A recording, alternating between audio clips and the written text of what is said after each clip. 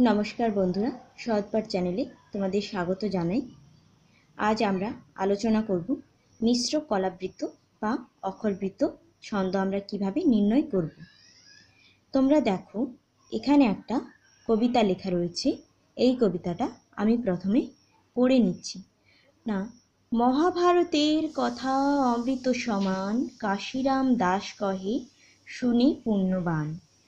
তাহলে এই কবিতাটা পড়ার সময় প্রথম থেকে শেষ অবধি, কবিতার এই প্রথম থেকে শেষ অবধি এক প্রকার সুর বা টানের প্রাধান্য রয়েছে এবং এই কবিতাটা আমরা দ্রুতও পড়তে পারছি না এবং মধ্যম লয়ও পড়তে পারছি না।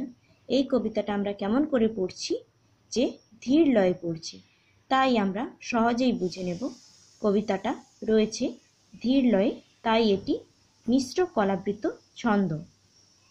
এই কবিতাটা, এই কবিতার মিশ্র কলাবৃত ছন্দ নির্ণয়ের জন্য প্রথমে আমরা কবিতাটা আরেকবার পড়ে পর্ব কেটে নিচ্ছি। পর্ব কাটার জন্য প্রথমে আমাদের কবিতাগুলোকে বারবার পড়তে হবে যে কোথায় আমরা থামছি, সেখানেই পর্ব কাটা হবে।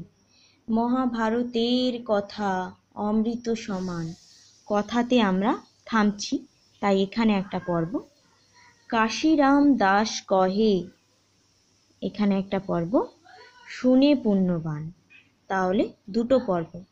এবার আসছি আমরা দল বিভাজন করব, যে মিশ্র কলাবৃত বা অক্ষরবৃত্ত ছন্দে দল বিভাজনের ক্ষেত্রে মুক্ত অক্ষর একমাত্রায় হবে আদি মধ্য রুদ্ধ অক্ষর এক মাত্রা এবং শেষ রুদ্ধ অক্ষর ও একক রুদ্ধ অক্ষর দু মাত্রা হবে। চলো তাহলে আমরা দল বিভাজনটা সেরে ফেলি। মো, হা মো, হা, ভা, র, তের, ক, থা, অম, ব্রি, তো, স, মান, কা, শি রাম দাস ক হে সু নি পুণ্য বান। তাহলে মুক্ত অক্ষর, উদ্ধ অক্ষর আলাদা করে নিলাম। এবার মাত্রাগুলো উপরে উপরে বসিয়ে দেব। এই ছন্দের নিয়ম অনুযায়ী মুক্ত অক্ষর সর্বদা এক মাত্রা। এক মাত্রায় মুক্ত অক্ষরগুলি আমি বসিয়ে নিচ্ছি।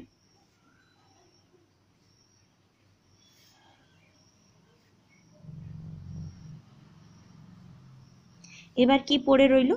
রুদ্ধ অক্ষর। তাহলে সংজ্ঞা অনুযায়ী রুদ্ধ অক্ষরের ক্ষেত্রে নিয়মটা কি ছিল? রুদ্ধ অক্ষরের মধ্যে নিয়মটা ছিল আদি, মধ্য, রুদ্ধ অক্ষর এক মাত্রা শেষ রুদ্ধ অক্ষর, একক রুদ্ধ অক্ষর দু মাত্রা এইটা রুদ্ধ অক্ষর কি হচ্ছে? শেষে রয়েছে। তাই এটি হবে দুমাত্রা। এখানে রুদ্ধ অক্ষর প্রথমে রয়েছে। তাই আদি রুদ্ধ অক্ষর একমাত্রা। এখানে রুদ্ধ অক্ষর শেষে রয়েছে। তাই এটি হবে দুমাত্রা।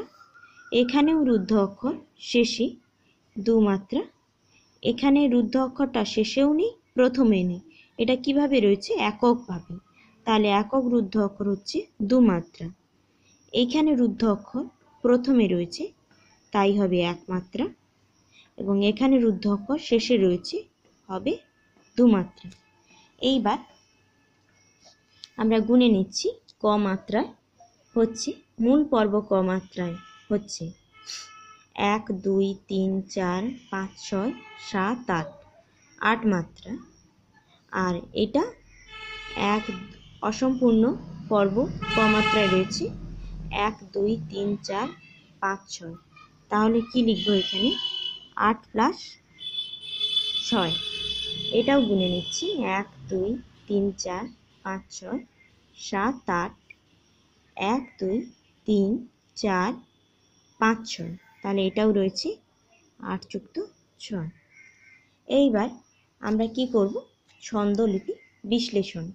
ছন্দলিপি বিশ্লেষণের ক্ষেত্রে প্রথম পয়েন্ট হচ্ছে পর্ব। তাহলে পর্ব কেমন রয়েছে? এখানে মূল পর্ব আট মাত্রায় রয়েছে এবং অসম্পূর্ণ পর্ব ছ মাত্রায়। লিখে ফেলি। মূল পর্ব রয়েছে আট মাত্রা এবং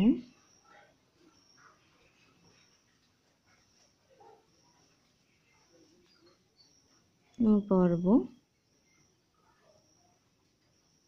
ছমাত্রা। চরণ। এই দুটি পর্ব মিলে একটি চরণ হয়েছে। দুটি পর্ব মিলে একটি চরণ।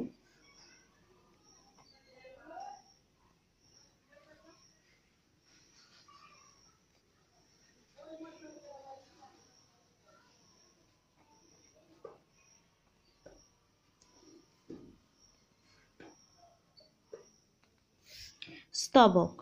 তাহলে স্তবক কীরকম রয়েছে? দুটি চরণে একটি স্তবক।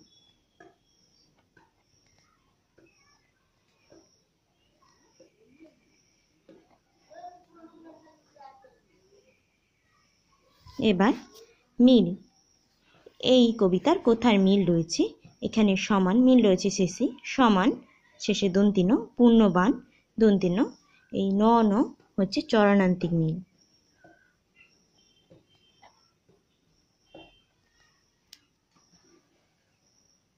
প্রকৃতি, এই ছন্দের প্রকৃতি হলো মিশ্র কলাবৃত্ত বা অক্ষরবৃত্ত। কি প্রকৃতির ছন্দ?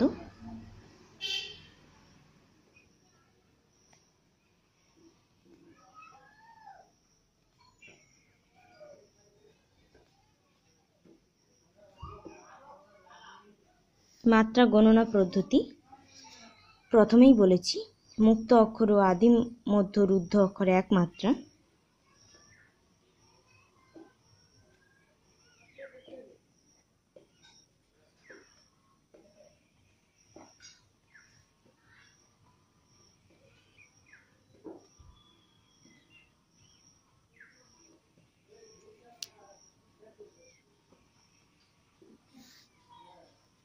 এবং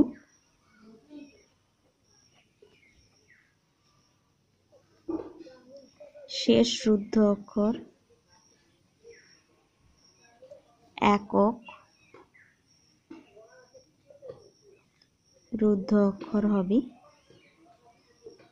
দুমাত্রা।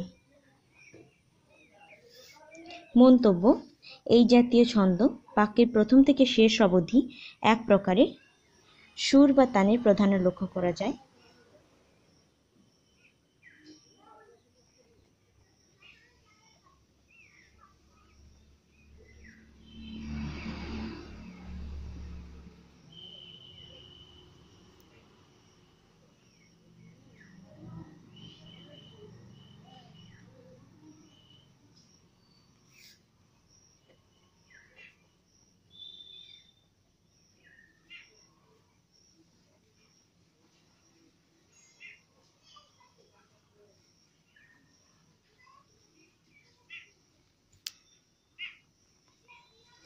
তাই অনেকে একে তান প্রধান ছন্দ বলে থাকে।